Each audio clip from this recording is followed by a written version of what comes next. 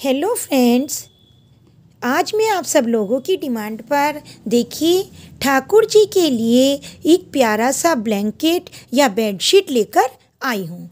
आप चाहें तो इसे बेडशीट में यूज़ कर सकते हैं और चाहें तो ब्लैंकेट बना सकते हैं। सेम इसी डिज़ाइन का अगर आप चाहें तो अपने लिए स्टॉल या शॉल भी बना सकते हैं।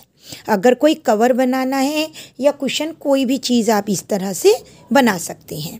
बहुत ही प्यारा और बहुत ही इजी पैटर्न है और बहुत जल्दी आप इसको तैयार कर सकते हैं। चलिए, हम अपना पैटर्न तैयार कर स्टार्ट करते हैं। बहुत इजी है, देखो मैं बता देती हूँ। आपको पहले ये जितना भी बनाना है, जैसे मेरे को ये ब्लैंकेट बनाना था तो मैंने इसको पहले मीज़र किया।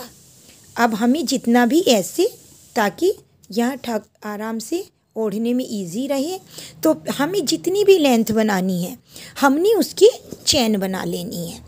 तो मैंने पहले यहाँ से यहाँ तक ये दस इंच का बनाया है तो मैंने दस इंच की चेन बना ली थी। अब देखिए, मैं आपको एक छोटा सा सैंपल बनाकर दिखा रही हूँ। देखिए, मैं थोड़ी सी चेन बना लेते हैं हम।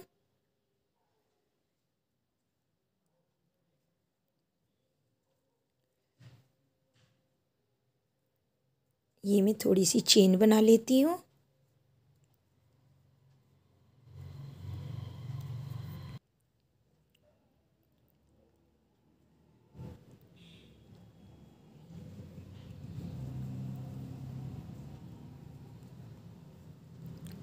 ये देखिए, ऐसे हमने एक ही वाली चेन बना ली है। चेन बनाने के बाद अब हमें सबसे पहले इसमें पिंक कलर का ही बनाना है। ये देखो ये वाला पिंक कलर वाला, ये वाला हाथ बनाना है। उसके लिए हमें सबसे पहले हम एक डबल क्रोशिया बनाएँगे किनारे के लिए।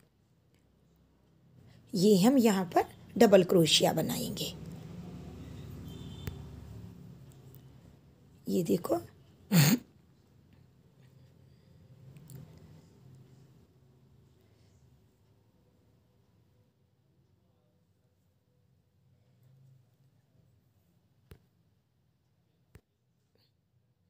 ये हमने यहाँ पर एक डबल क्रोशिया बना लिया है ताकि हमारी किनारी बन जाए। अब यहाँ ये देखिए, ये हमने सात फंदे बनाए हैं, ये वाले। एक, दो, तीन, चार, पाँच छः सात। ये हमें सात फंदे बनाने हैं। तो हम यहाँ पर ऐसे डबल क्रोशिया लेंगे और ये देखो, एक, दो, तीन। तीसरी चेन में यहाँ पर यहाँ पर हम सात डबल क्रोशिया बनाएँगे। एक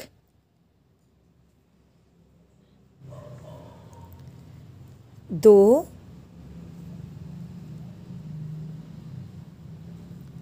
तीन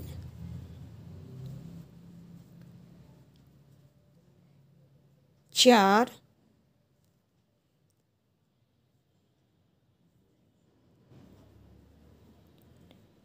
पाँच छ और एक सात। ये मैंने सात डबल क्रोशिया बना लिया है, ये वाला स्टार्टिंग में। अब हम इसमें, ये देखो, यहाँ हमने ये सात डबल क्रोशिया बनाया है। अब हम, ये जो हमने सात बनाए थे, इसको तीन के बाद फिर से ज्वाइंट कर देंगे। एक, दो, तीन। तीन चेन के बाद हम इसको यहाँ पर ज्वाइंट कर देते हैं। ये हम सिंगल क्रोशिए से करेंगे, ऐसे, इस तरह से। अब हम फिर से डबल क्रोशिया बनाएँगे ऐसे, और तीन चेन के बाद एक, दो, तीन, फिर से हम यहाँ पर सात डबल क्रोश सात डबल क्रोशिए के फंदे बनाएँगे। पूरी सिलाई हमें ऐसे ही बना लेनी है। ये देखो ऐसे। ये देखिए, मैंने फिर से सात डबल क्रोशिया बना लिया है और इसको हम फिर तीन चेन के बाद एक, दो, तीन। तीन के बाद हम इसको फिर से ज्वाइंट कर देंगे सिंगल क्रोशिए से। ऐसे ही हमें ये पूरा बना लेना है। फिर हम तीन चेन के बाद एक, दो, तीन। यहाँ हमारे पूरे नहीं आ पाएँगे, इसलिए हम यहाँ सात की जगह चार डबल क्रोशिया बनाएँगे। ये देखिए लास्ट में हमने केवल चार डबल क्रोशिया बनाया है। अब हम इसको ऐसे उल्टा कर लेंगे और यहाँ पर हम यहाँ से यहाँ तक चार चेन बनाएँगे। एक, दो, तीन, चार। ये हमने चार चेन बनाई है और हम इसको यहाँ पर जो हमने पहले किया था सिंगल क्रोशिए से जॉइंट कर देंगे। ऐसे। ये हमने जॉइंट कर दिया। अब हम फिर से चार चेन बनाएँगे। एक दो तीन चार। ये हमने चार चेन बनाई और जो इनके सेंटर का था जो हमने सात डब, डबल क्रोशिया बनाए थे। एक दो तीन चार। ये जो चौथे नंबर पे है इसमें हमने इसको ऐड कर दिया। ऐसे।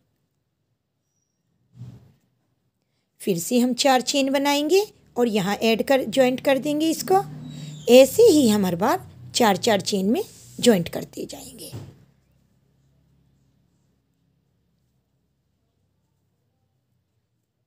ये, फिर से हम चार चेन बनाएँगे। एक, दो, तीन, चार। फिर से यहाँ चौथे वाले में जॉइंट कर देंगे।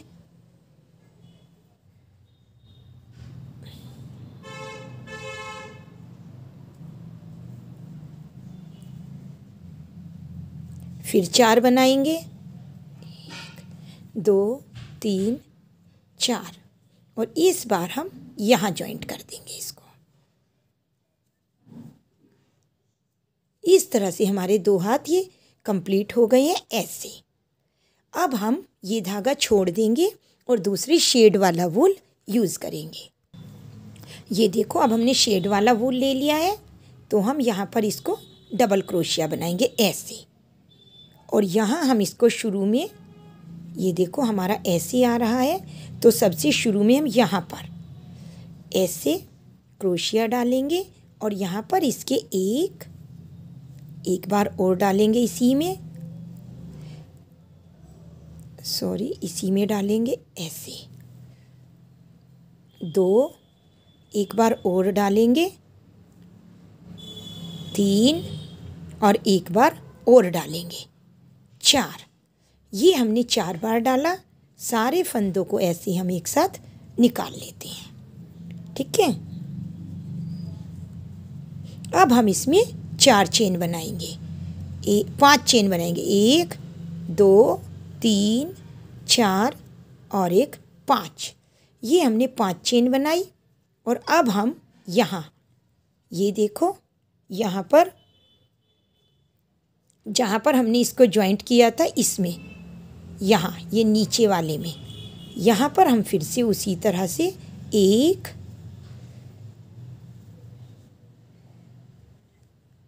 दो तीन और एक चार। चार बनाएँगे और इसको हम फिर से ऐसे बंद कर देंगे। ऐसे। एक और बनाएँगे हम ऐसे ही सेम एक, दो,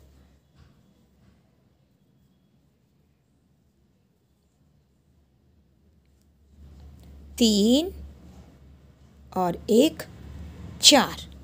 और ये हम फिर से एक बार इसको बंद कर देंगे. ऐसे. ऐसे ही हम फिर से पाँच चेन बनाएँगे और यहाँ पर इसी तरह से दो ये बना लेंगे। अगर आपका हाथ थोड़ा ज़्यादा टाइट है तो आप ये छः चेन बनाइएगा। मेरा हाथ थोड़ा लूज़ है या चेन में, इसलिए मैंने पाँच बनाई हैं। ये देखिए, ये मैंने ये भी बना लिया है और लास्ट में हम यहाँ पर एक बनाएँगे। ये हमने दो बनाए हैं, लेकिन यहाँ हमारे पास जगह कम है तो पाँच की जगह हम यहाँ पर एक, दो, तीन तीन चेन बनाएँगे और लास्ट में हम केवल एक ही चार फंदों का ये एक बनाएँगे। एक। ये देखिए हमारा इस तरह से ये वाला हाथ तैयार हो गया है। अब हम इसको ऐसे उल्टा करेंगे और उसी तरह से पहले हमने एक, दो, तीन और एक चार चेन बनाई। शुरू में हम चार चेन बनाएँगे और इसको यहाँ से जॉइंट कर देंगे। ऐसे। यहाँ सेंटर से जॉइंट किया। अब हम यहाँ से यहाँ तक सात चेन बनाएँगे। ये हमने सात चेन बनाई और इसको यहाँ पर जॉइंट कर दिया। फिर से सात चेन बनाएँगे और यहाँ पर जॉइंट कर देंगे। ये देखिए, इस तरह से हमारे ये वाले भी दोनों हाथ कंप्लीट हो गए हैं। अब हम इधर आ गए हैं सीधी सिलाई पर और यहाँ पर अब हम धागा चेंज करेंगे और हम फिर से पिंक वाला धागा लगाएँगे।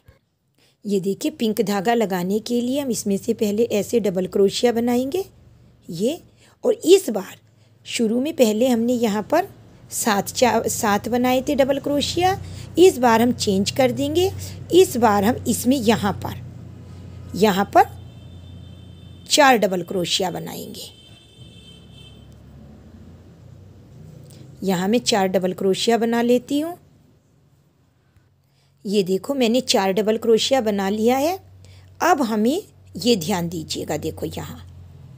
ये जो इसमें हमने, यहाँ पर, जहाँ से हमने चैन, ये यहाँ जाएँगे हम, इसमें, ऐसे। ऐसे हम अब नीचे हाथ डालेंगे। इसमें जहाँ हमने पहले ये चेन को जॉइंट किया था, इसके नीचे वाले पार्ट में यहाँ जाएँगे और यहाँ से एक सिंगल क्रोशिया बना देंगे। ऐसे, ये देखो। और अब हम फिर से सात डबल क्रोशिया बनाएँगे। ऐसे, ये डबल क्रोशिया हमें इसके सेंटर में बनाना है, यहाँ पर। मैं यहाँ सात डबल क्रोशिया बना लेती हूँ। ये देखो, ये मैंने सात डबल क्रोशिया बना लिया है और अब हम फिर से ये, इसमें हमारा ये दिखाई दे रहा है यहाँ आ गए हम और यहाँ पे हम सिंगल क्रोशिया बनाएँगे। ऐसे। ये हमने सिंगल क्रोशिया बना दिया। अब हम फिर से सात डबल क्रोशिया बनाएँगे इसमें। ये देखो, ये मैंने सात डबल क्रोशिया बना लिया है। और अब हम इसको लास्ट में यहाँ पर ज्वाइंट कर देंगे।